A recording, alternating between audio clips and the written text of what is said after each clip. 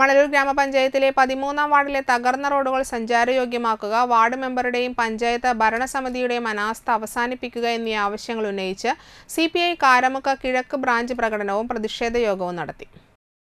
C P I ജില്ലാ council അംഗം K V Vinodan ഉദ്ഘാടനം ചെയ്തു. Branch assistant secretary Roy Thanikkal അധ്യക്ഷനായി.